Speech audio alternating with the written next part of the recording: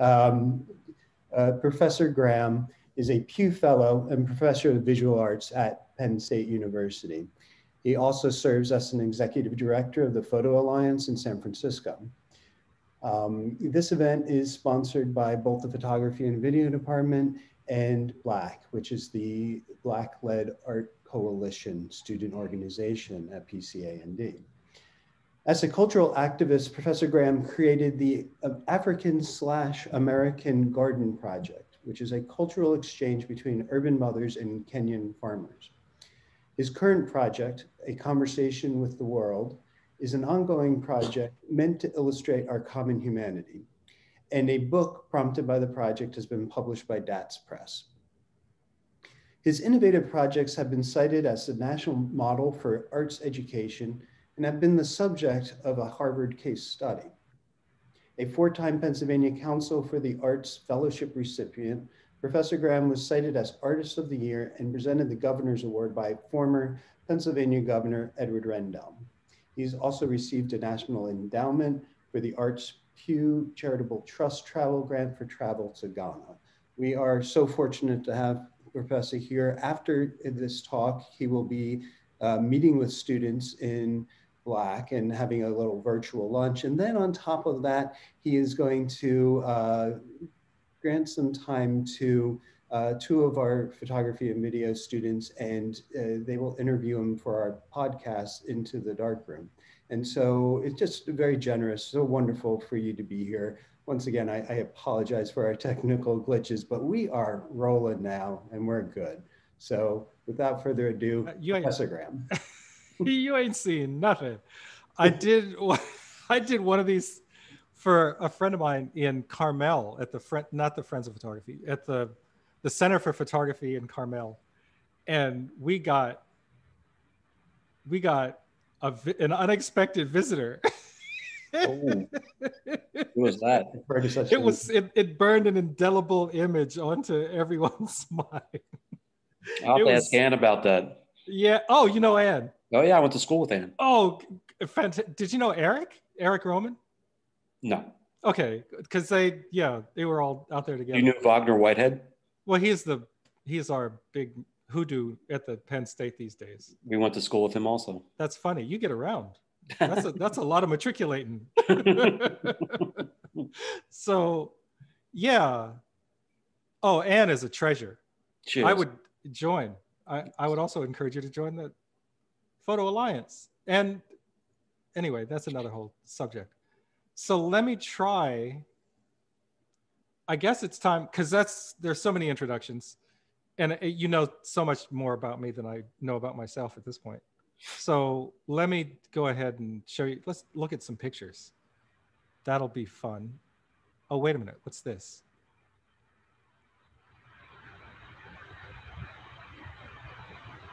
I wonder if this will work. Up. Oh, the screen has gone black. oh, look, there's that thing I read. And then there's my name. Oh, there's the TED thing. People seem to like that for some reason. Look, there he is. Okay. Oh, oh, oh, okay. So, yeah, then we get up to the point where, um, oh, yeah, you can't see me. Um, that's too bad. We get up to the point where um, I had talked to I had talked to this young fellow. I came to the conclusion that because of my conversations with this individual, that art was the some of the most effective art, some of some art in its most traditional form had had been going on since people existed basically.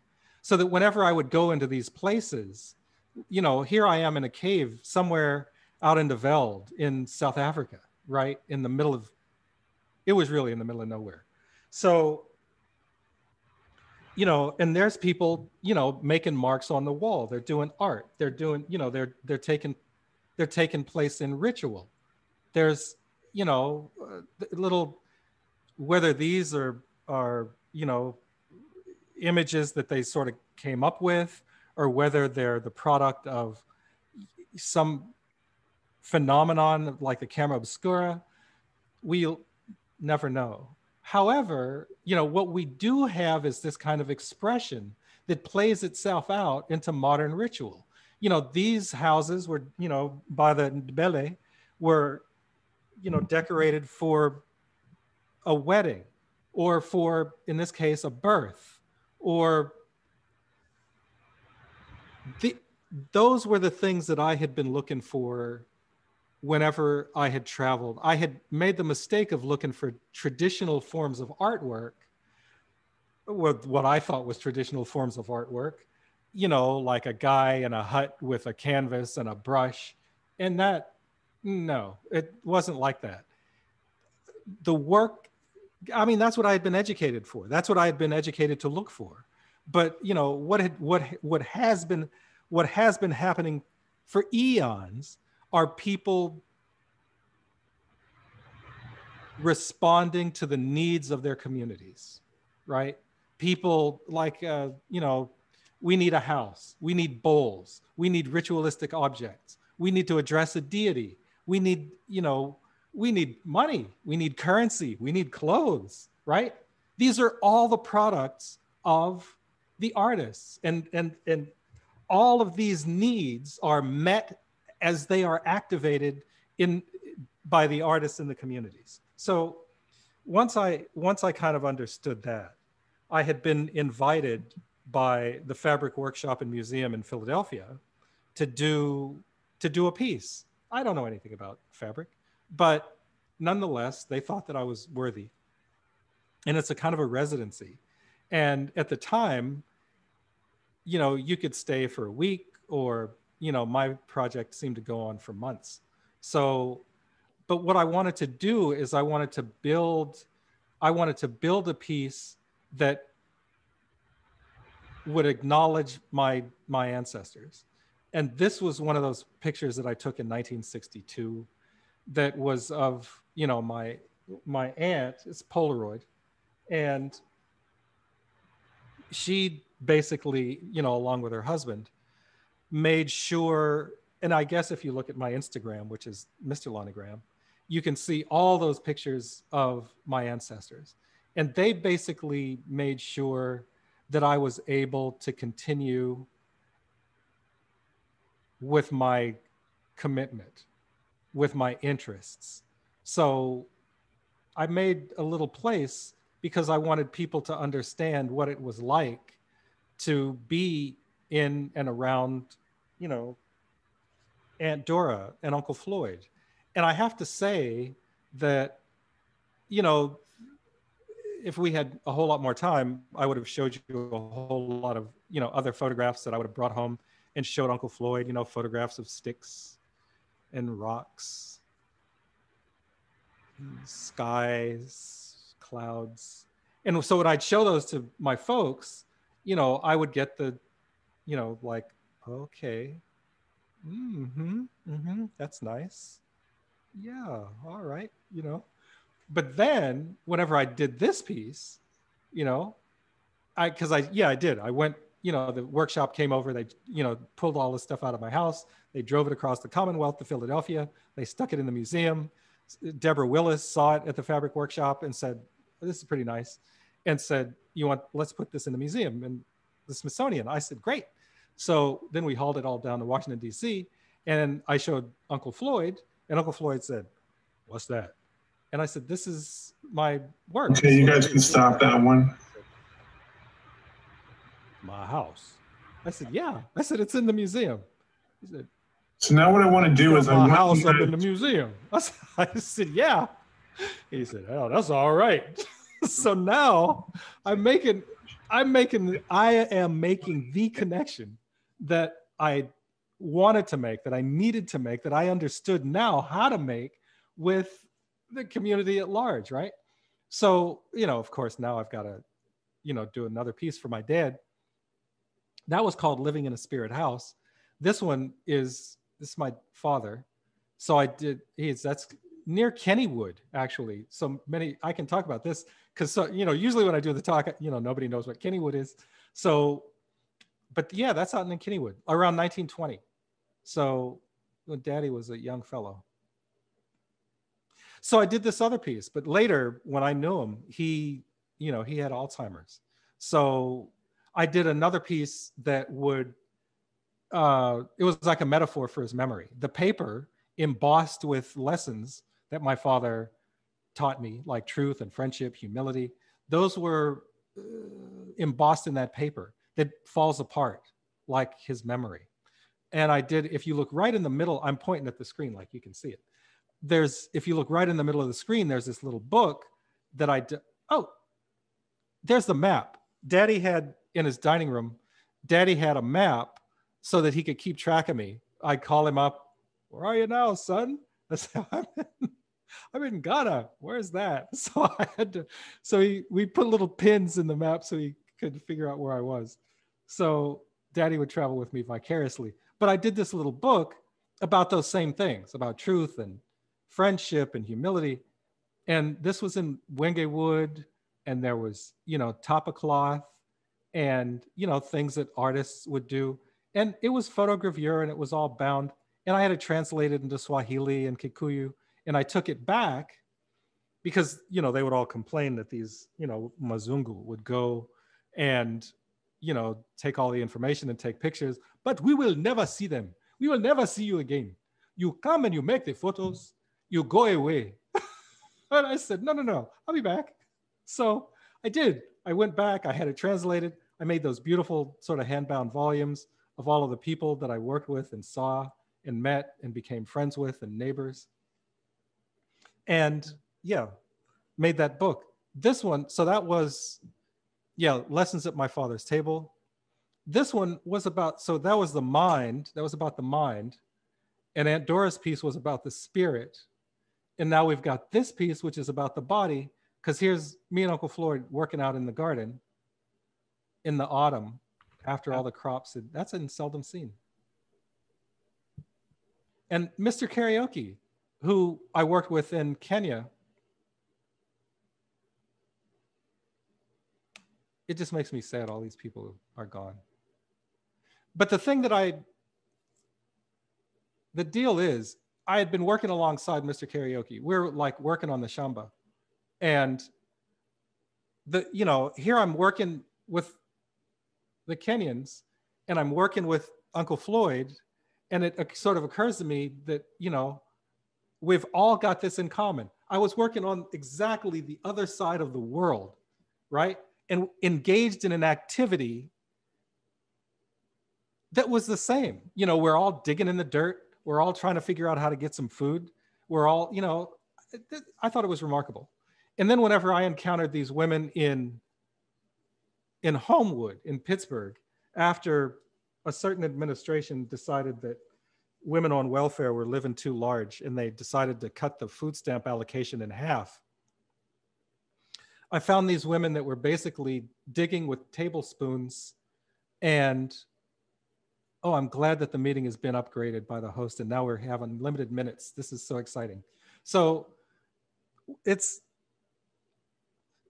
they didn't have any food. They didn't have any money. So they took tablespoons, they went to the, the CVS, they bought vegetables and they went in their vegetable seeds packets and went into the vacant lots in inner city Pittsburgh and started digging in the dirt with tablespoons trying to grow food, which was crazy. So I got with the Pennsylvania Conservancy. I got a bunch of dirt delivered out there. I talked to Tom Murphy, who was the mayor at that time. So we got the, these whole series of gardens set up. I wonder if this will work with that big thing on there. So, mm, no. Nope, we're stuck. My thing won't work. I don't have a little cursor anymore. Oh, wait a minute. Wait, what's that? We can stop. We can annotate. We can share the screen. Okay. That's the garden. That's the shamba. So that's one of the that's one of the sites for the African and American Garden Project. Oh, I can make it go. later, I'll try to go faster because I know we don't have a very long time. Later, I met, you know, these, I was doing a project in Philadelphia. I met some individuals that were sort of hanging around. I'm going to try to make that go away. Hold on. Because I don't have a cursor.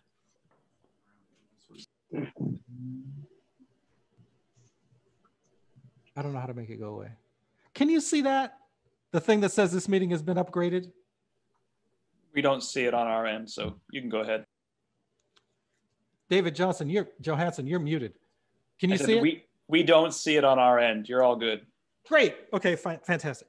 So yeah, this piece is called A Home in the Homeless. So basically what I did is I photographed all these homeless people. I made sure that they had lunches of some kind. And I put all their photographs. This is my room. So I moved my room into the museum and I hung their pictures inside the museum so that the guards couldn't kick them out because they were part of the exhibition. So they could come and hang around in my room and look at my junk and kind of eat their lunch. so I just got into all kinds of mischief. So yeah, that was a home and the homeless. This piece was um, uh, it was it, it was a piece called memorialization, acknowledgement, and it was done in Charleston, South Carolina. I, want, I wanted to acknowledge the efforts of the ancestors by, you can see maybe a little thing over there on the wall. I went to Ghana and I talked to the people who descended from the individuals that built all these plantations in the Carolinas. And uh, I just wanted the, you know, people to kind of acknowledge the fact that we were there. I had to take it down. They didn't like it. So that was for Spoleto. So we had a, a, cutting down ceremony where we cut those beautiful red drapes off the wall. And we took all that red velvet and gave it to the quilters. And I walked up the street to the Wilmot Fraser Elementary School and met this guy named Harry Noisette, whose grandfather cultivated the Noisette rose. And we made a garden in this little elementary school that was about to close because the students had poor test scores. But they had poor test scores, it turns out, because they didn't have a lunch program, because that had been cut to save money. So whenever they started growing their own food, their test scores went up. School stayed open because they had all these activities around the garden. Thad Mosley built these little sticks so that whenever we I went out to the Middleton plantation and looked for all the graveyards for the slaves, they weren't there. I mean, they weren't acknowledged. There was no memorial. So I, I, I made a memorial for them. That's another long story. That's the room that they wanted me to work in. Those are the slave quarters at the Aiken Rhett plantation. But I didn't, I didn't, I didn't stay in there. I just made that little table so that they could go in there and sit down and write what they thought about being in the same room as that the slaves lived in.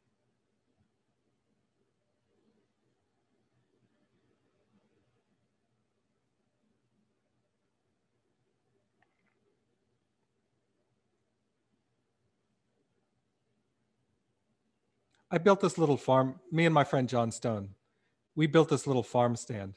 When people went in there and bought stuff, then we gave that money to the farm workers. That was in the Cincinnati contemporary.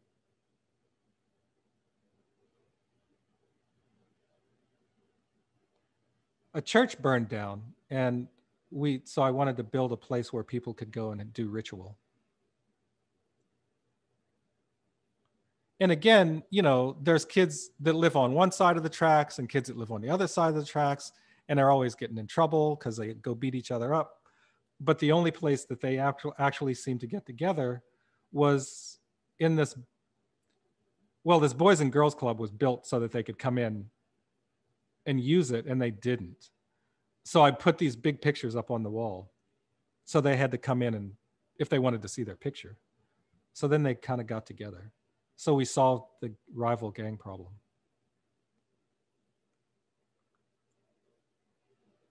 Oh, this this piece I did at uh, the African American Museum in Philadelphia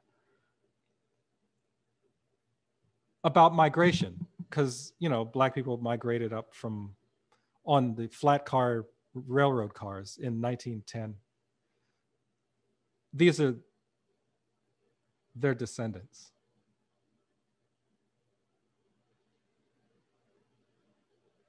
And in the first image you saw, that's all the junk that they brought with them.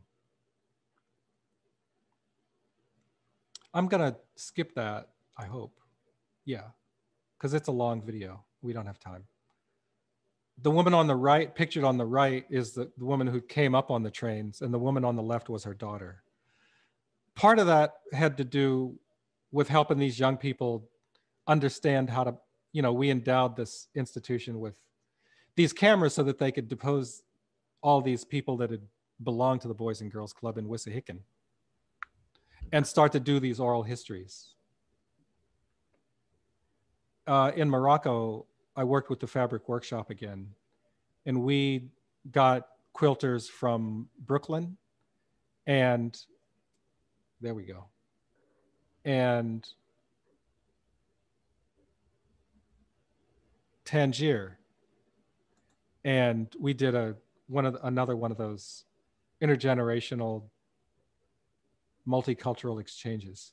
So these are the women that we worked with in Tangier and from Brooklyn. And we had one of those hands across the water kind of things.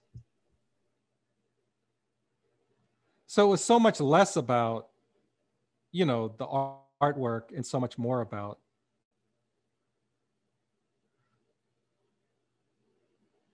defining our role as artists in the community. In a conversation with the world, I had started it back in in in central in central California in the 80s. And basically what it was is I asked a, a series of questions, same questions to people around the world. And you know, they answer and the whole trick is that they i thought it was a failure because everybody answered the questions the same way but apparently that's the success. It just shows that we're we have a common humanity. We all basically want the same stuff. And it's all that same stuff that my dad and i would talk about. So san francisco they wanted me to do the project there so i did and then the Calgary called up, so I went up to work with the indigenous people in Calgary. And we did, you know, these were all, they wanted to have a conversation. Photography here is just the, it's just a vehicle, you know? These people wanted to have a conversation with their community. And it's the same here in Oulu, in Finland you know, here's these people that that in many cases had these are two Finnish women who had in many cases walked or came overland in all the cases. Nobody had a plane ticket from the equator up to Finland, right? Because they come up and they get, you know, they go over through Turkey, they get up through Europe. Nobody wants the refugees. And finally, they figure out that they can get a home in Finland but even in Finland, they've got to go up, you know, to Rovaniemi, which is all the way up by the Arctic Circle. So here these people, so then they find a home in this little community, right, with these folks who, you know, she happened to be very sympathetic. But then they, you know, but then the the the Finnish people don't like it and they kill them, they shove them off roofs. So what I did is I went in and I made these photographs of all the different people in these communities, and then I put it in one place. And so everybody, if they wanted to see their picture, I did that trick again. They all had to come to the same place. So, you know, the murder rate went down. because people started talking to each other. This young man, I'm going to go back because I said, I'm talking to him and I'm saying, man, you know, you were living in, you know, paradise. You're living in Africa. How can you manage? You know, this place is so foreign, it's so freezing. And he said, well, he said he, he loved it there in Finland. He loved his new home.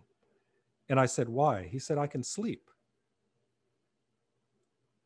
I can sleep through the night knowing that I'll wake up in the morning because in Mogadishu, it was always a question. Whenever we went to bed at night, we'd never know if we would wake up in the morning. Something as simple as a good night's sleep is worth traveling half the way around the world, a quarter.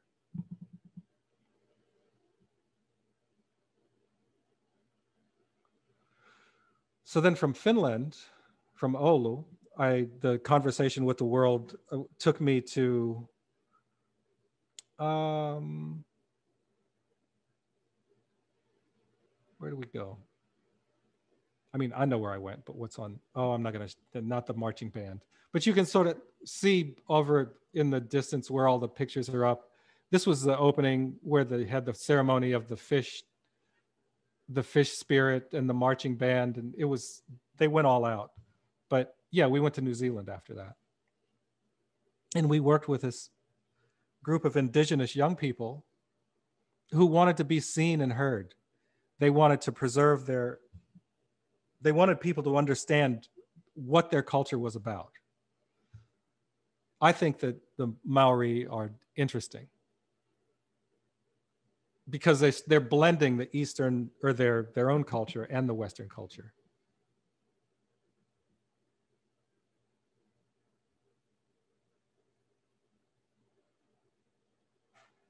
Again, we did the, you know, we did large billboards, newspaper, magazines. We, I was invited into these ceremonies. I can share them with you because we're not publicizing them. I think this might be close to the end. Yep, there's one of the billboard installations. Oh, well, the thing I'm doing now is uh, the, the Italians built a bunch of dams up in Ethiopia. They they blocked off the Omo River. So now the Lake Turkana, and the thing that I'm going to take another minute because the thing about Lake Turkana, okay, so in Ethiopia, maybe like 200 miles from where Billy and I are standing here. In Ethiopia is where they found Lucy, which is supposed to be like one of the ancestors of humanity, right? 200 miles southwest is where we're standing on the shores of Lake Turkana. So Lucy is maybe 3 million years old. Turkana Boy, which is what they found here by Dr. Leakey, He's 2 million years old. If you go another, you know, 200 miles south, then you'll get to the Olduvai, the Olduvai Gorge, where Dr. Leakey found more early remains about a million years old, right? We're in the cradle of humanity. This is where we ostensibly we all came from until somebody else finds some more bones down in South Africa someplace. This is where we came from as a species the Italians and the Ethiopians thought that it was just fine to dam up the river so that now, you know, there's like the river's dying to the point uh, the lake Turkana is just dying to the point where this is people have to dig down into the dirt to get water. And you know, all these people have walked like a mile, two miles, five miles, and bring in these little yellow containers so that they can buy water for a nickel, a nickel a container. So I was worried about that. So I started to talk to these, you know, these fishermen. I had these big meetings with them. you know, I went out, I tried to go out to the, just to, you know, negotiate with some of the other fishermen, but it's not a, you know, it's a tricky proposition. I had to get a security force to go out onto Lake Turkana. It's come to that. It's come to the point where you have to fish for food at gunpoint, all because some foreign government wanted to sell a big multi billion dollar dam project. Governments. So now I'm talking to these people because, you know, we, it's, this is the evolution of obscurity, right? These people descended from millions, literally millions of years ago, are standing at the precipice of not existing. So that's what I'm doing. I'm out there and I'm talking to them and I'm just making a little eulogy because I can't fix the dam. I can't bring back Lake Turkana. I can't save this tribe of people. You know, I, the only thing I can do is I'm just a, a guy with a camera. That's the elders wanted to meet in that dry riverbed. They know what's going on, but you know, I'm not going to show this thing either. I think that's the end of it. I'm going to be done. I don't even know if you can hear it, but I'll stop sharing. Oh, I don't know how to stop sharing. Wait. There's my little thing. I go over here. I go down here. It should be up top. There you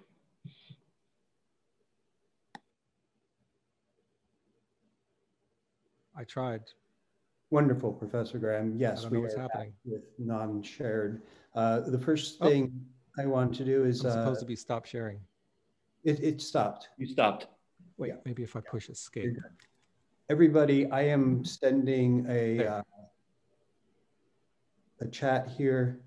Uh, in the chat to everyone, there is a new Zoom meeting URL for the uh, BLAC meeting after this, and also on the calendar, anybody who uh, you know is uh, part of the school community, if you go to the calendar event, that has been updated um, with the, the proper new Zoom meeting uh, credentials. And so it'll all work so much better than how we started out. But Professor, thank you so much. Will you be uh, open to taking a, a few questions?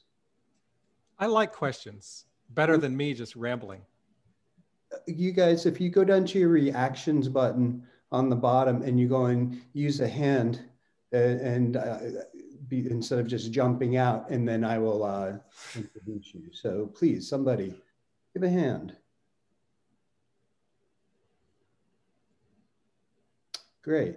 Um, we have our first hand. And oh, we do. Yes, and this is Nichelle Morris, who is a junior uh, photography and video major. Michelle, it's all yours. That was actually me just using the the clap emoji. I don't quite have a question. I'm sorry. Hi, Nichelle. How are you? I'm all right. How are you doing? Good. Thank you I'm so just, much. Uh, I'm cool. I turned on my new best friend. I've got a little friend who keeps who keeps me company. This is my little heater. so I'm here with my my buddy. Oh wait. Oh no, that's a Paul Ryder. Anybody, yes. somebody. But Paul, do you have a question? Sure. Okay. All right. So you say you're using Polaroid throughout yeah. your career. Polaroid doesn't exist. Using Polaroids and you're still sharing their images? Yeah. So what I've done is, you know, when I, I guess, you know, in the in the 80s, the film 90s, the film went up to like, you know, 45 or 50 dollars a box. Mm-hmm. And then in the 2000s, it went up to like $75 a box. And then it didn't exist anymore. And now, if I can find it on eBay, it's like, I've seen it as high as like $300 a box, which means that that's like, you know, 10 or $20 per sheet. And this is stuff that's 20, you know, it's like old and maybe it'll work and maybe it won't. But I've got some and I put it in the refrigerator and I'm trying. This is the last of it. I'm I'm almost done with the project, but I have somebody else who says, you know, I, they want to commission me to do it digitally.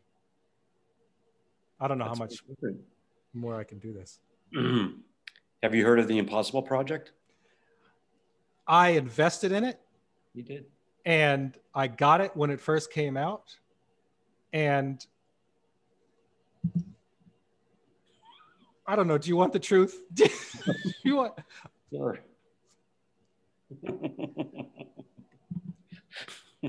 so I can find Polaroid 55 on eBay, and I've got a refrigerator. I got maybe six more boxes, and I was going to go out last year, but couldn't do it.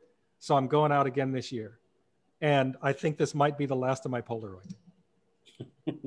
so you're not a big fan of the instant, uh, the Impossible Project.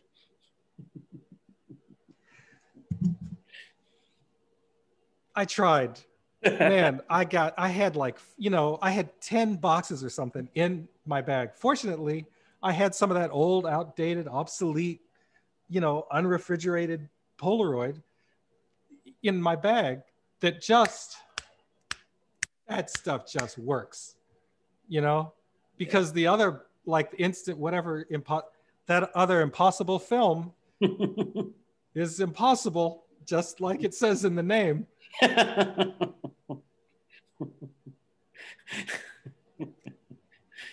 I have to, that guy, I have to, he did an amazing thing. It was just, you know, to resurrect that was yeah. just incredible.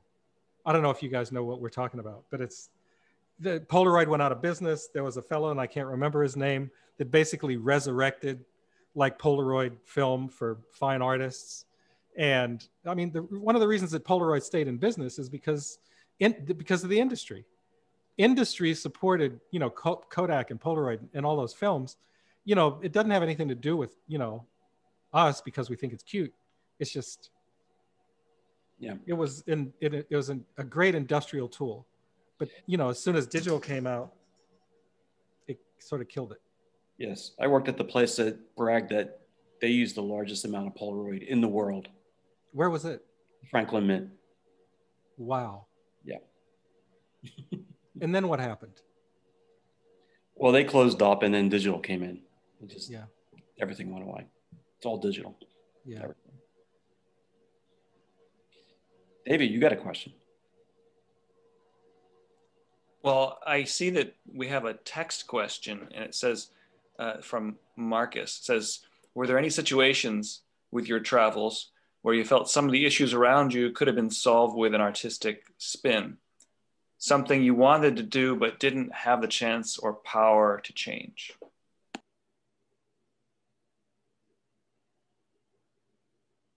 I'm looking for Marcus on the thing.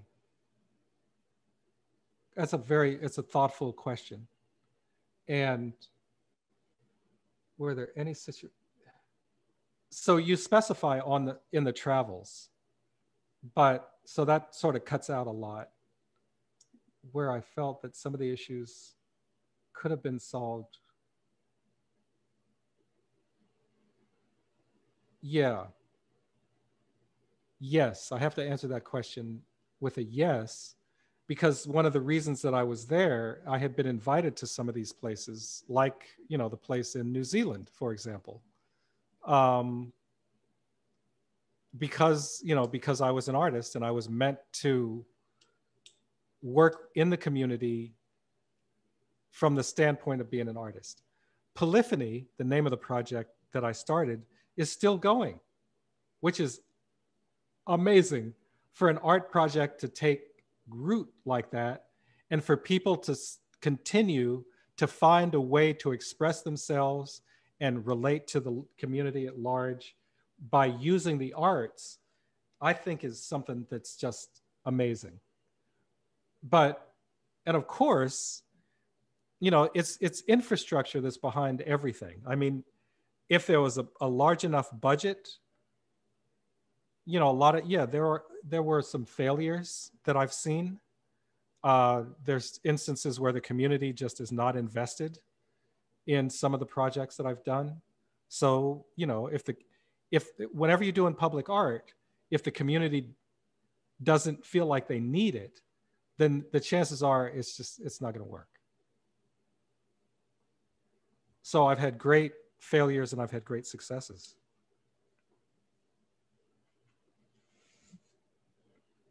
Well, it's wonderful, Professor Graham. Thank you so much. We have reached one o'clock, and so we're going to usher you to your next location. Alex, it's correct that it is a different meeting than this one, correct? So everybody who wants to be in the uh, BLAC meeting uh, needs to uh, leave this meeting and and sign in again, correct? That's correct. Yeah, you would just you just leave this meeting and you can click on that um, Zoom link that Eric sent out. We also, like Eric mentioned, updated oh, the calendar event, so you can just also hop to that calendar event and click the link there. Um, if you're already signed in, like on your app or anything, it should just kind of fling you right in and you should be fine. But um, in the off chance, you might have to um, sign in your credentials again, or if you're using a browser, uh, it might ask you for a preferred name again or something like that. Oh, once again, thank you. So thank you. Thanks very much. We'll see you soon. Eh, listen, if anybody has any questions, just send me an email. Call me. We can talk. Thank you. Yeah. so generous. Thank you. Thank okay. you. Bye, everybody. Thanks for coming.